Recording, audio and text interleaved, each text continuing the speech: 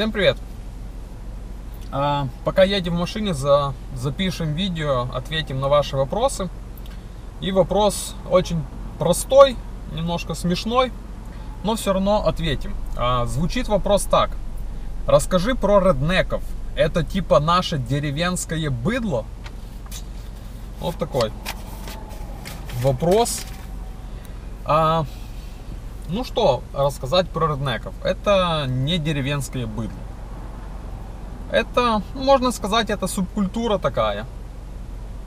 А, в основном вот люди, которых называют реднеками, живут на юге, а, в маленьких а, городах. Ну, то есть, в принципе, да, это ну, деревенские люди. Хотя, в принципе, сейчас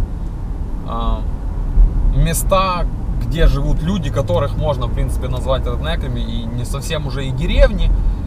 А, но, но это да, это не мегаполисы. Вообще слово redneck это оскорбительное слово считается, хотя некоторые люди наоборот... А, Почти как черный. Черный это не оскорбительное. Black, если ты говоришь, это не, оскорб... не оскорбительно. Нига. Нига это оскорбительно. Нигер. Ну, хотя они сами себя так называют. Ну, так и реднеки, а, что себя так не называют. А есть э, такие реднеки, которые гордятся тем, что они реднеки, они сами себя называют реднеками. Вот. Но есть такие, для которых это обидно. А, слово реднек, оно вообще произошло от двух слов в английском языке. Это red и neck. Red красный, neck это шея. А, потому что Реднеки это в основном люди, которые работают не в офисе, а на улице, там на фермах, либо там, не знаю, Стройки. на какой-то стройке. Ну, ран... скорее всего, э, наз... На полях. начали называть реднеков тех людей, которые работали вот в сельском хозяйстве, и поэтому у них красная шея от солнца загорелая. И вот от этого пошло слово реднек. А... Реднеки, они патриотичные люди, они патриоты Америки в основном. А вот а, как, как Реднек может себя выдать, так это тем, что он едет вот на огромном траке, на котором наклейки флагов США. Есть еще, кроме наклеек, и просто большие флаги. А также реднеки любят а, а, не флаг США повесить, а флаг... Также реднеки любят не флаг США повесить, а флаг конфедерации. А, тот флаг, который ДНРовцы себе спионерили и э, придумали себе, что это их флаг, но на самом деле это флаг конфедерации. Вот получается они ненавидят Америку, но при этом в той же Америке они еще и флаг спионерили.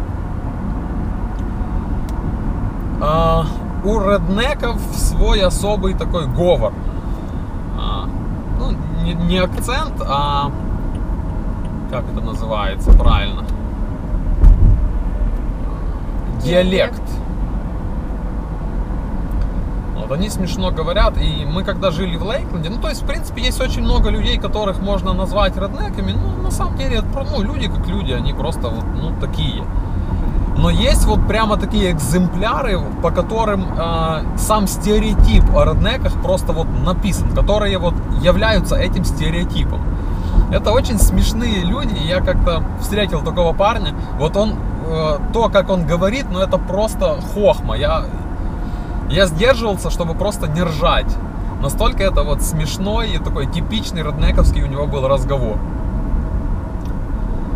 А, ну а что еще добавить? Нет, нет, это не быдло. Это, это такая американская субкультура, это люди, которые живут э, в основном на а, юго-востоке США, которые в основном работают а, на улице, вот. Не то, что они не образованы, но... Но, я думаю, небольшой процент э, реднеков имеет все-таки высшее образование. Вот. Ну, вот такой, такая субкультура и такой о них сложный стереотип, который... Есть и быдло, в принципе, ну как и везде, ну, да, во всех культурах есть Среди реднеков быдло. есть быдло, и среди других не, среди, не, не реднеков. Среди, среди обычных есть тоже и вроде культурный человек, вроде как вы- выглядит нормально, одет нормально, без красной шеи, но он может быть быдлом. Поэтому Да. как бы это такое. Ну, поэтому называть реднеков быдлом это нехорошо. Ну, вообще реднеков реднеками называть нехорошо, потому как это все-таки это считается оскорбительным. Вот. Так что, ну да, есть такие люди деревенские. Иногда хорошие, иногда не очень. Иногда дружелюбные, иногда не очень. Вот. Но не надо путать реднеков с другими а, тоже похожими субкультурами, как вот Hillbillies есть еще такая субкультура. А, есть еще White Trash, белый мусор. Иногда реднеков путают с White Trash, но это, это не то. Это, это тоже разные.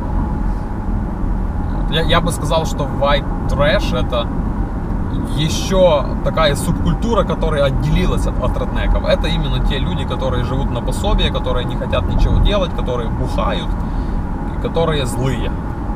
Вот. А, ну и ладно, хватит тогда про реднеков в этом видео. А, задавайте еще другие вопросы интересные, а мы по, по возможности будем на них, на них отвечать. А, всем спасибо за просмотр, всем пока.